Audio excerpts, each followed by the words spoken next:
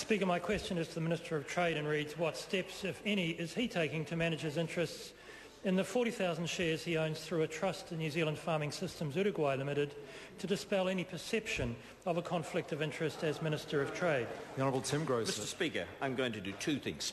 Uh, first of all, I'm going to carry through on the additional disclosure I made to the Cabinet Office about the shares I put my retirement funds into, um, additional to the requirements of the Register of Pecuniary Interests, and I'm going to take all necessary steps to avoid any conflict of interest in the unlikely event that one would occur.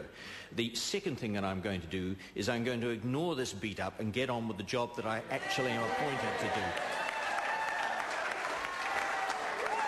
The Honourable Pete Hodgson. Order. Order. Order. The Honourable Pete Hodgson. Why did he quit? Order. Order. There's been enough interjection. The Honourable Pete Hodgson. Why did he quit the India Trade Group so quickly last year when his co-owner, Dr Richard Worth, started to get into a pickle, but has not quit this much more valuable asset that some might say leaves Uruguayans feeling like order, tenants order. in their I own apologise, country. honourable member, but I couldn't hear the question. I, I. And I'd invite the member to start again with this question, and, and I'd ask members to keep the level of interjection down so at least the speaker can hear the question being asked. Otherwise, I cannot determine whether or not it's in order. Uh, the Honourable Pete Hodgson. Why did he quit the India Trade Group so quickly last year when his co-owner, Dr Richard Worth, started to get into a pickle, but has not quit this much more valuable asset that some might say leaves Uruguayans feeling like tenants in their own country? The Honourable Tim Groser. Point of order, the Honourable Gerry Brown. Where is the ministerial responsibility uh, for anything in that question?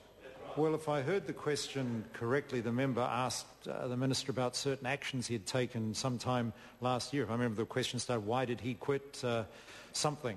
Now that is asking uh, the minister something to do with his, uh, I presume, with his interests, and uh, and therefore it, uh, I believe the minister does have responsibility for that. The Honourable Tim Groser. Mr. Point of order, the Honourable Rodney Hide.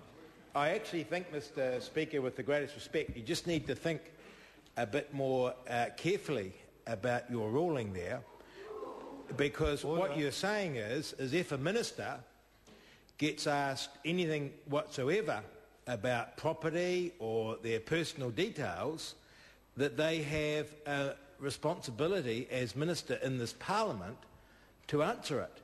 I don't see how possibly a minister could be uh, answering a question in this House as minister about why they might or might not sell particular shares. It seems to me incongruous.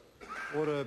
I did, I'll hear the Honourable Leader of the House. Further, Mr Gerry Brown. Speaker, Mr Groser answered the first question uh, very, very appropriately, I think, and made it clear what the situation is. To then be put through uh, a bit of a test about, well, why did you do this last year uh, when you're doing this this year, I think steps far too far. He's been very open with the uh, Register of Pecuniary Interest. That's why the opposition are able to ask a question. Uh, but I think, sir, that particular question, if you were to look at it again, steps well outside what might be reasonable for ministers to answer in this House. I appreciate the, uh, the points raised by members, and this is a, a, an issue that needs to be handled carefully by the Speaker. I fully accept that. And I accept the point made by the Honourable Rodney Hide that, that minist- individual ministers are not responsible for the register of pecuniary interests. Uh, that, that's a, a thing that members of Parliament are required to comply with. However, ministers are responsible for management of conflict of interest. And it was my uh, interpretation of the question whether or not, and I, I stand, I wouldn't uh, mind uh, seeing if the clerk agrees with my view on this, but it's my view that uh, uh, the, uh, the, you know, where, where there's a potential conflict of interest with, with the minister's portfolio interests, then there is legitimate ground for questioning. And, uh, but I certainly confirm that the, the minister is not responsible as minister for the, the issues surrounding the declaration of pecuniary interests. And uh, uh, I, I, I think on this, rather than me rule the question out, I think the minister would be capable of handling it, but he's only required to handle it insofar as it involves conflicts of interest relating to his portfolio interests. And on that basis, I invite the Honourable Tim Gross to respond to it, to answer it. Well, there's a very straightforward answer to this, uh, Mr Speaker. Um, and that is I resigned as a director of the company because I was told it was not appropriate to be director of the company and a minister. That brings, oh, no, the Honourable Pete Hodgson has a further supplementary. The the Honourable first Pete part of Hodgson. the question, but that'll do.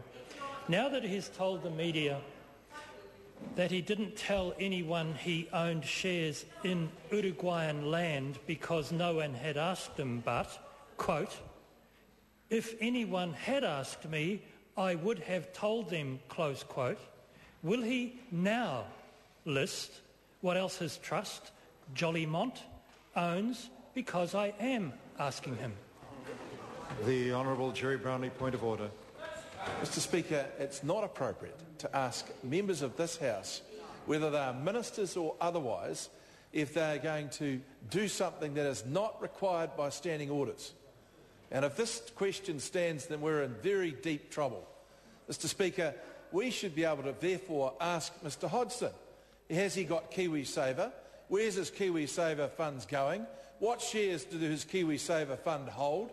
And what interest does he have uh, or, or have to declare to the House when it comes to voting on matters that might affect those, those shares? It's been widely accepted for a long time that where members of parliament have an interest that is no greater than any other member of the public or is no less available to any other member of the public, then that is not a conflict. Mr Speaker, that question opens this thing up very, very widely.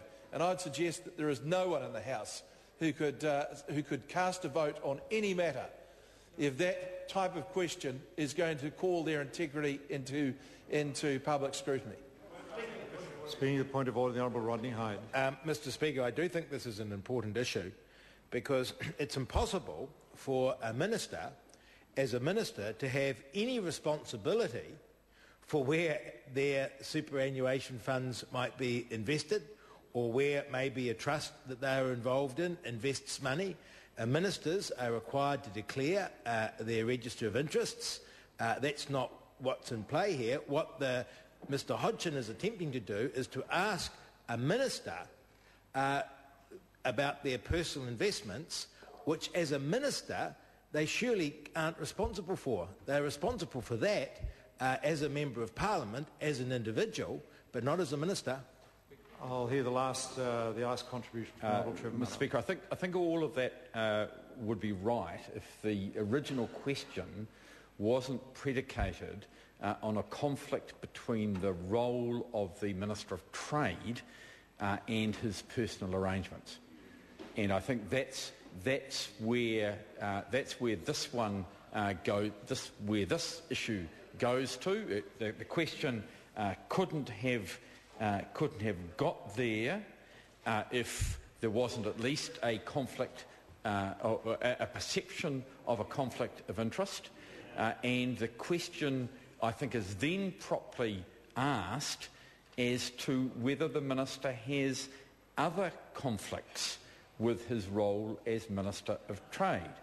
He has, I think, in this House accepted that there is one already.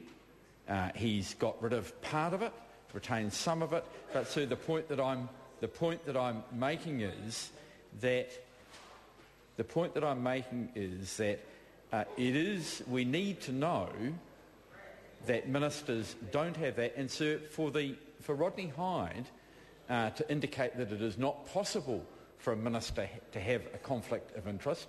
Of course, it is No, possible. order, I think. No, I've heard, I've, no, I've indicated I don't need to hear any more on this uh, matter. Uh, what the Honourable Trevor Mallard just said was correct if the Minister had been asked about conflicts of interest, but he wasn't. He was asked would he list on his, in his pecuniary interests uh, any further uh, interests or shareholdings a certain trust may have. And that is not within standing orders.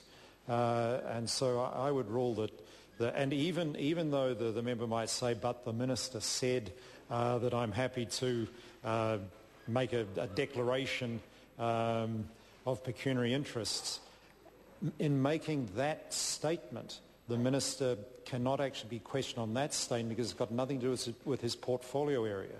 And that's the members asking questions need to be very clear on that. They cannot question ministers, as the Honourable Rodney Hide pointed out, on their declaration of pecuniary interests.